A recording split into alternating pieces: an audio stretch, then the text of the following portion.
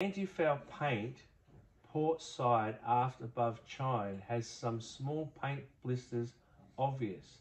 Sand repair next to anti-foul. Now, anti-foul paint doesn't, from my from my experience, doesn't really blister. And if you're saying it's blistering up, like it's actually popping up proud, yeah, Yeah.